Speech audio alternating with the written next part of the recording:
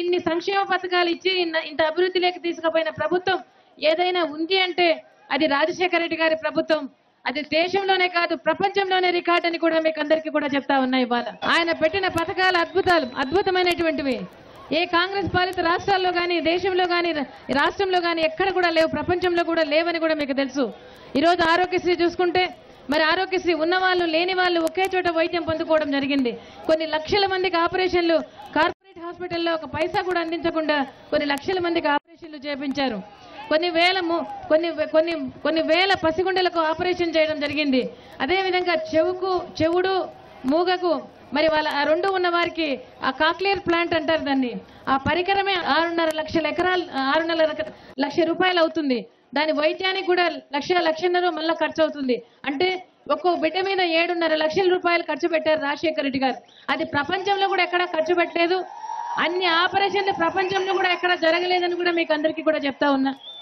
మనం ఆపదలో ఉంటే మనల్ని హాస్పిటల్కి తీసుకుపోవడానికి ఫోన్ చేసిన పదహైదు ఇరవై నిమిషాల్లో వచ్చేది కుయ్ కుయ్ కుయ్ కుయ్ అని వచ్చేది. గ్రామాల్లోకి వన్ జీరో ఫోర్ వచ్చేది.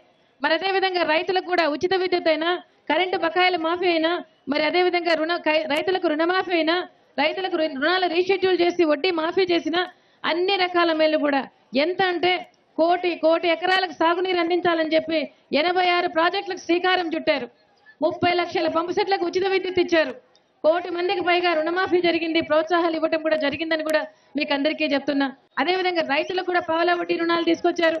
మరి రెండు కోట్ల కుటుంబాలకు పైగా వారందరికీ కూడా రేషన్ కార్డులు మరి రెండు రూపాయల బియ్యం ఇవ్వడం జరిగింది. అదేవిధంగా అప్పుడు ప్యాకేజ్ ఇవ్వడం కూడా జరిగింది. ఆయిల్ పప్పు కూడా ప్యాకేజ్ ఇవ్వడం జరిగింది. గ్యాస్ కేంద్రం ధర యాభై రూపాయలు పెంచితే ఆ రోజు మరి ఆనాడు ప్రభుత్వం రాజశేఖర రెడ్డి గారు భరించడం కూడా జరిగింది. అన్ని రకాల మేలు కూడా మనం పొందుకోవడం చూసామని కూడా మీకు అందరికీ కూడా చెప్తా ఉన్నా. మరి అదేవిధంగా మరి పేద విద్యార్థులు డబ్బుకు పేదలకు డబ్బులు డబ్బుకు పేదలు కావచ్చు కానీ చదువుకు పేదలు కాదు. ప్రతి పేదవాడి పిల్లలు కూడా డాక్టర్లు ఇంజనీర్లు కలెక్టర్లు కావాలని చెప్పి ఆ రోజు ఫీజు రియంబర్స్మెంట్ పథకం ద్వారా కొన్ని లక్షల మంది వాళ్ళ డాక్టర్లు ఇంజనీర్లు అయ్యారు. విశ్వసనీయత అన్న పదానికి అర్థం తీసుకుని రావాలి. నిజాయితీ అన్న పదానికి అర్థం తీసుకుని రావాలి. ఒక నాయకుడు ఏదైనా మాట చెప్తే ఆ మాట మీద తాను నిలబడతాడు అని ఆ మాట కోసం